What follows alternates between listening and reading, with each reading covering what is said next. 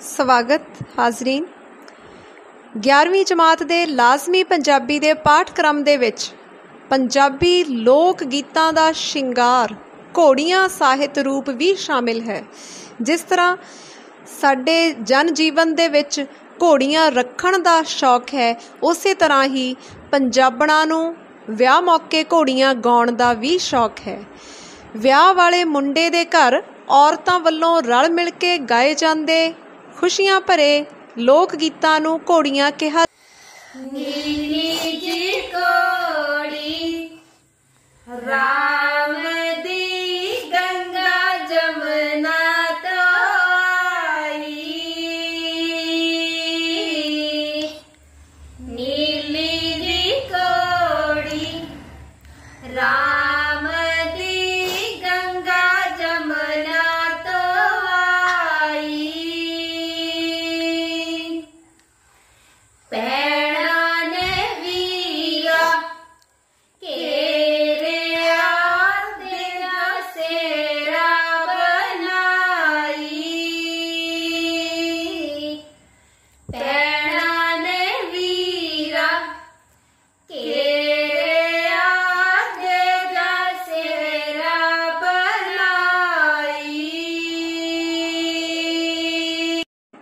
ਤੇ ਜੇ ਵੇਖੀਏ ਆਪਾਂ ਬਹੁਤ ਡੂੰਘਾਈ ਦੇ ਨਾਲ, ਤਾਂ ਇਹਨਾਂ ਦੀ ਜੜ ਬੜੀ ਡੂੰਗੀ ਹੈ ਤੇ ਪਿੱਛੇ ਬਹੁਤ ਸਾਰੀਆਂ ਧਾਰਨਾਵਾਂ ਕੰਮ ਕਰਦੀਆਂ ਹਨ। ਕੁਝ ਵਿਦਵਾਨਾਂ ਦਾ ਮੰਨਣਾ ਹੈ ਕਿ ਵਿਆਹ ਵਾਲੇ ਮੁੰਡੇ ਨੂੰ ਘੋੜੀ ਚੜਾਉਣ ਦੀ ਰੀਤ ਹੈ, ਇਸ ਕਰਕੇ ਇਸ ਤਰ੍ਹਾਂ ਦੇ ਕਾਵ ਰੂਪ ਨੂੰ ਘੋੜੀਆਂ ਕਿਹਾ ਜਾਂਦਾ ਹੈ। ਕੁਝ ਵਿਦਵਾਨਾਂ ਦਾ ਇਹ ਤਰਕ ਹੈ ਕਿ ਘੋੜੀ ਗੱਭਰੂ ਮੁੰਡੇ ਦੇ ਜੋਸ਼ ਉਸ ਦੀ ਤਾਕਤ ਉਸ ਦੇ ਰੋਬ ਦਾ ਪ੍ਰਤੀਕ ਹੈ।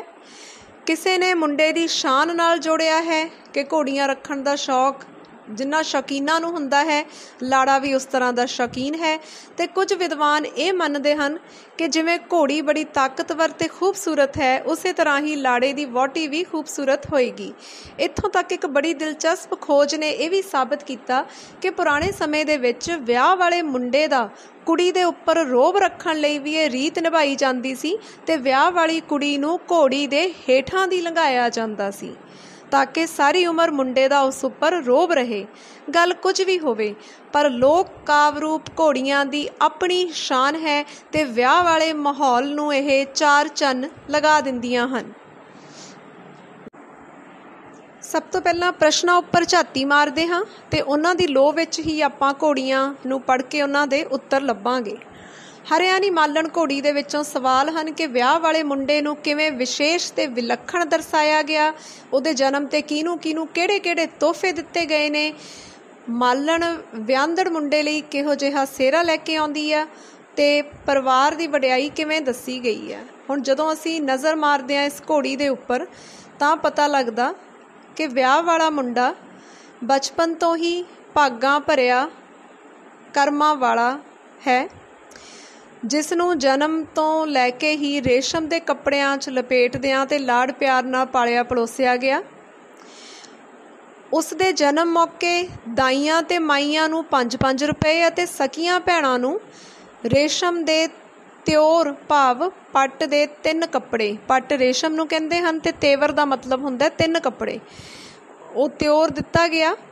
ਮਾਲਣ ਲਾੜੇ ਦੇ ਘਰ ਆਉਂਦੀ ਆ ਤੇ ਉਸ ਵਾਸਤੇ 1 ਲੱਖ ਚੰਬੇ ਅਤੇ 2 ਲੱਖ ਮਰੂਏ ਦੇ ਫੁੱਲਾਂ ਵਾਲਾ ਕੁੱਲ 3 ਲੱਖ ਰੁਪਏ ਦਾ ਸਿਹਰਾ ਲੈ ਕੇ ਆਉਂਦੀ ਹੈ।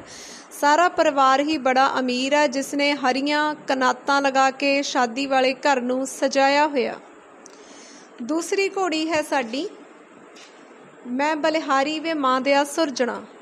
ਇਸ ਘੋੜੀ ਜਦੋਂ ਆਪਾਂ ਵੇਖਦੇ ਹਾਂ, ਇਹਦੇ ਸਵਾਲ ਹਨ ਸਭ ਤੋਂ ਪਹਿਲਾ, ਮੈਂ ਬਲਿਹਾਰੀ ਵੇ ਮਾਂ ਦਿਆ ਸੁਰਜਣਾ ਘੋੜੀ ਦੇ ਵਿੱਚ। ਵਿਆਹੇ ਜਾਣ ਵਾਲੇ ਮੁੰਡੇ ਦੀ ਸਿਫਤ ਕਿਵੇਂ ਕੀਤੀ ਗਈ ਆ? ਮੁੰਡੇ ਦੇ ਪਹਿਰਾਵੇ ਬਾਰੇ ਕੀ ਦੱਸਿਆ ਗਿਆ? ਤੇ ਕਿਸ ਸ਼ਾਨ ਨਾਲ ਜੰਜ ਚੜਨ ਦੀ ਗੱਲ ਕੀਤੀ ਗਈ ਆ? ਸੋ ਇਹਨਾਂ ਦਾ ਉੱਤਰ ਆਪਾਂ ਨੂੰ ਘੋੜੀ ਪੜ੍ਹ ਕੇ ਪਤਾ ਲੱਗਦਾ।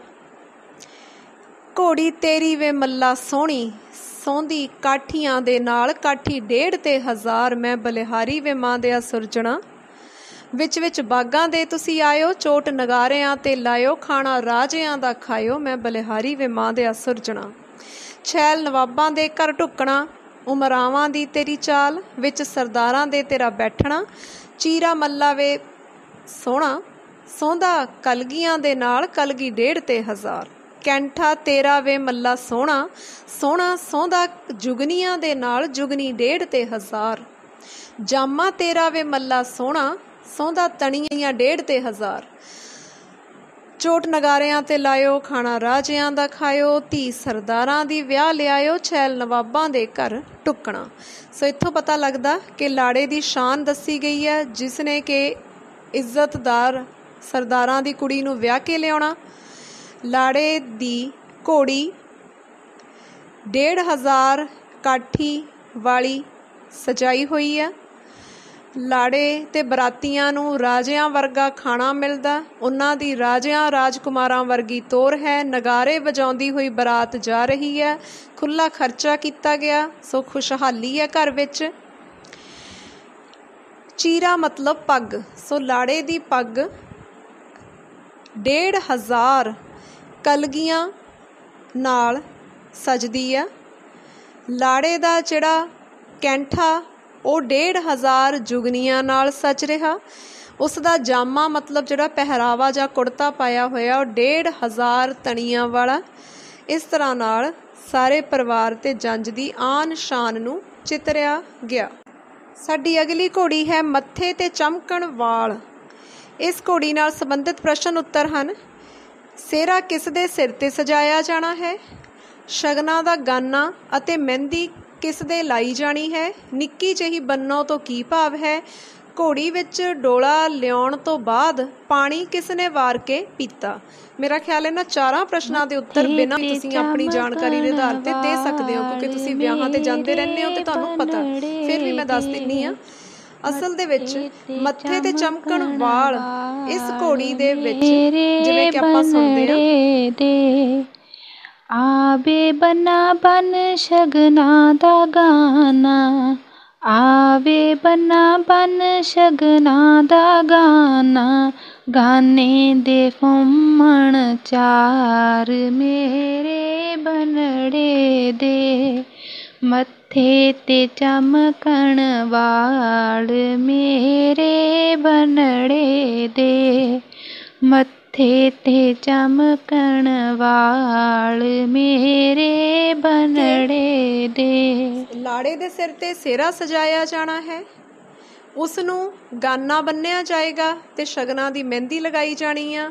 ਨਿੱਕੀ ਜਿਹੀ ਬੰਨੋ ਤੋਂ ਭਾਵ ਹੈ ਲਾੜੀ ਜੋ ਕਿ ਵਿਆਹ ਕੇ ਲਿਆਂਦੀ ਜਾਏਗੀ ਤੇ ਡੋਲਾ ਲਿਆਉਣ ਤੋਂ ਬਾਅਦ ਲਾੜੇ ਦੀ ਮਾਂ, ਭਾਵ ਮੁੰਡੇ ਦੀ ਮਾਂ ਨੇ ਪਾਣੀ ਵਾਰ ਕੇ ਪੀਤਾ।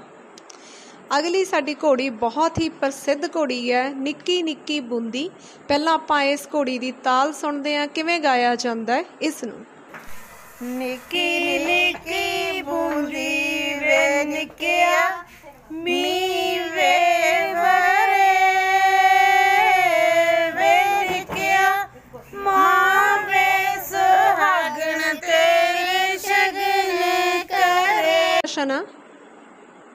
ਵਿਆਹੇ ਜਾਣ ਵਾਲੇ ਮੁੰਡੇ ਦੇ ਪਰਿਵਾਰ ਦੀ ਖੁਸ਼ਹਾਲੀ ਕਿਵੇਂ ਦੱਸੀ ਗਈ ਆ? ਵਿਆਹੇ ਜਾਣ ਵਾਲੇ ਮੁੰਡੇ ਦੀ ਭੈਣ ਤੇ ਭਰਜਾਈ ਕਿਹੜੀ ਕਿਹੜੀ ਰਸਮ ਅਦਾ ਕਰਦੀਆਂ ਹਨ? ਮਾਂ ਨੇ ਕਦੋਂ ਪਾਣੀ ਵਾਰ ਕੇ ਪੀਤਾ? ਘੋੜੀ ਵਿੱਚ ਪ੍ਰਕਿਰਤੀ ਨੂੰ ਵਿਆਹ ਦੀ ਖੁਸ਼ੀ ਨਾਲ ਕਿਵੇਂ ਜੋੜਿਆ ਗਿਆ ਹੈ ਤੇ ਕੁਝ ਰੰਗਾਂ ਦੇ ਨਾਂ ਖੁਸ਼ੀ ਦੇ ਵਾਤਾਵਰਣ ਨੂੰ ਪ੍ਰਗਟ ਕਰਨ ਲਈ ਦੁਹਰਾਏ ਗਏ ਹਨ? ਦੱਸੋ ਕਿਵੇਂ? ਤੁਸੀਂ ਧਿਆਨ ਨਾਲ ਇਸ ਕੇ ਇਸ ਵਿੱਚ ਪਰਿਵਾਰ ਦੀ ਖੁਸ਼ਹਾਲੀ ਇਸ ਪ੍ਰਕਾਰ ਦੱਸੀ ਆ ਕੇ ਘੋੜੀ ਰੱਖੀ ਹੋਈ ਆ। ਦੰਮਾ ਭਾਵ ਪੈਸਿਆਂ ਦੀ ਵੱਡੀ ਭਾਰੀ ਬੋਰੀ ਆ, ਜਿਸ ਨੂੰ ਕਿ ਬਾਬਾ ਫੜ ਕੇ ਤੁਰਦਾ। ਮਾਂ ਸੁਹਾਗਣ ਸ਼ਗਰ ਕਰਦੀ ਹੈ ਮਤਲਬ ਮਾਂ ਦਾ ਪਤੀ। ਜੋ ਪਿਤਾ ਹੈ, ਉਸ ਲੜਕੇ ਦਾ ਉਹ ਜਿਉਂਦਾ, ਤਾਂ ਹੀ ਮਾਂ ਸੁਹਾਗਣ। ਤੇ ਹਾਥੀਆਂ ਦੇ ਸੰਗਲ ਲਾੜੇ ਦਾ ਬਾਪ ਫੜਦਾ। ਇੰਨੀ ਅਮੀਰੀ ਖੁਸ਼ਹਾਲੀ ਆ ਕਿ ਹਾਥੀ ਵੀ ਰੱਖੇ ਹੋਏ ਆ। ਇਸ ਤੋਂ ਇਲਾਵਾ ਜਿਹੜੀ ਘੋੜੀ ਆ ਉਸ ਨੂੰ ਪੀਲੀ ਪੀਲੀ ਮੂੰਗੀ ਦੀ ਦਾਲ ਚਾਰੀ ਜਾਂਦੀ ਆ। ਭੈਣ ਆ ਜਿਹੜੀ ਉਹ ਘੋੜੀ ਦੀ ਵਾਗ ਫੜਦੀ ਆ ਤੇ ਭੈਣ ਵੀ ਸੁਹਾਗਣਾ ਇਹ ਵੀ ਖੁਸ਼ਹਾਲੀ ਦਾ ਪ੍ਰਤੀਕ ਆ। ਤੇ ਨਾਲ ਹੀ ਭੈਣ ਘੋੜੀ ਦੀ ਵਾਗ ਫੜਨ ਦੀ ਰਸਮ ਕਰਦੀ ਹੈ ਤੇ ਭਾਬੀ ਸੁਰਮਾ ਪਾਉਣ ਦੀ ਰਸਮ ਕਰਦੀ ਹੈ ਜਦੋਂ ਡੋਲਾ ਮਹਿਲਾਂ ਵਿੱਚ ਆਉਂਦਾ ਹੈ ਤਾਂ ਲਾੜੇ ਦੀ ਮਾਂ ਪਾਣੀ ਵਾਰ ਕੇ ਪੀਂਦੀ ਹੈ। ਕੁਝ ਰੰਗਾਂ ਦੇ ਨਾਂ ਦੁਹਰਾਏ ਗਏ ਹਨ, ਜਿਵੇਂ ਕਿ ਪੀਲੀ ਪੀਲੀ, ਨੀਲੀ ਨੀਲੀ, ਰੱਤਾ ਰੱਤਾ। ਸੋ ਨੀਲਾ ਨੀਲਾ ਘੋੜੀ ਵਾਸਤੇ ਵਰਤਿਆ ਗਿਆ। ਨੀਲੀ ਵੇ ਘੋੜੀ, ਤੇ ਜੋ ਦਾਲ ਚਰਦੀ ਹੈ, ਉਹ ਪੀਲੀ ਪੀਲੀ ਦਾਲ ਆ, ਤੇ ਰੱਤਾ ਮਤਲਬ ਲਾਲ ਰੰਗ ਦਾ ਡੋਲਾ ਘਰ ਵਿੱਚ ਆਏਗਾ। ਪ੍ਰਕਿਰਤੀ ਨੂੰ ਵਿਆਹ ਨਾਲ ਇਸ ਤਰ੍ਹਾਂ ਜੋੜਿਆ ਕਿ ਜਦੋਂ ਨਿੱਕੀ ਨਿੱਕੀ ਕਣੀ ਦਾ ਮੀਂਹ ਪੈਂਦਾ ਤਾਂ ਪਾਣੀ ਧਰਤੀ ਵਿੱਚ ਜੀਰ ਜਾਂਦਾ ਹੈ, ਫਸਲਾਂ ਚੰਗੀਆਂ ਹੁੰਦੀਆਂ ਨੇ ਤੇ ਘਰ ਵਿੱਚ ਖੁਸ਼ਹਾਲੀ ਆਉਂਦੀ ਹੈ। ਇਸ ਤਰ੍ਹਾਂ ਨਾਲ ਅਸੀਂ ਇਸ ਘੋੜੀ ਨੂੰ ਪੜਿਆ ਤੇ ਆਖਰ ਦੇ ਵਿੱਚ ਘੋੜੀ ਹੈ, ਸਤਿਗੁਰਾਂ ਕਾਜ ਸਵਾਰੇ ਆਈ ਜਿਸ ਦੇ ਪ੍ਰਸ਼ਨ ਉੱਤਰ ਹਨ, ਭੈਣਾਂ ਕਿਸ ਨੂੰ ਸ਼ਿੰਗਾਰਨ ਦੀ ਗੱਲ ਕਰਦੀਆਂ ਹਨ? ਭਾਬੀਆਂ ਕਿਸ ਨੂੰ ਘੋੜੀ ਚੜਾਉਂਦੀਆਂ ਹਨ? ਵੀਰ ਦੇ ਸਿਹਰੇ ਦੀਆਂ ਕਲੀਆਂ ਨੂੰ ਕੌਣ ਚੁੰਮਦਾ ਹੈ? ਸੋ ਇਹਨਾਂ ਦੇ ਉੱਤਰ ਸਾਨੂੰ ਵਿੱਚੋਂ ਪੜ੍ਹ ਕੇ ਹੀ ਪਤਾ ਲੱਗ ਜਾਂਦੇ ਹਨ ਕਿ ਭੈਣਾਂ ਨੇ ਵੀਰ ਨੂੰ ਸ਼ਿੰਗਾਰਿਆ ਭਾਬੀਆਂ ਨੇ ਆਪਣੇ ਦਿਓਰ ਨੂੰ ਘੋੜੀ ਤੇ ਚੜਾਇਆ ਜਿਹੜੀਆਂ ਭੈਣਾਂ ਨੇ, ਭਾਬੀਆਂ ਨੇ, ਉਹ ਰਸਮਾਂ ਕਰਦੀਆਂ ਤੇ ਨਾਲ ਨਾਲ ਜ਼ਿਕਰ ਆਇਆ, ਸੱਸ ਚੁੰਮੇ ਵੀਰ ਦੇ ਸਿਹਰੇ ਦੀਆਂ ਕਲੀਆਂ। ਸੋ ਸਿਹਰੇ ਦੀਆਂ ਕਲੀਆਂ ਕੌਣ ਚੁੰਮਦਾ? ਉਹ ਸੱਸ ਚੁੰਮਦੀ ਹੈ। ਇਸ ਤਰ੍ਹਾਂ ਨਾਲ ਇਹ ਘੋੜੀ ਵੀ ਆਪਾਂ ਅੱਜ ਸਮਝੀ ਹੈ। ਮੈਨੂੰ ਉਮੀਦ ਹੈ ਕਿ ਤੁਸੀਂ ਵਿਆਹ ਦੀਆਂ ਰਸਮਾਂ ਦੇ ਨਾਲ ਨਾਲ ਇਹਨਾਂ ਲੋਕ ਗੀਤਾਂ ਦਾ ਆਨੰਦ ਮਾਣਿਆ ਹੋਵੇਗਾ ਤੇ ਇੱਕ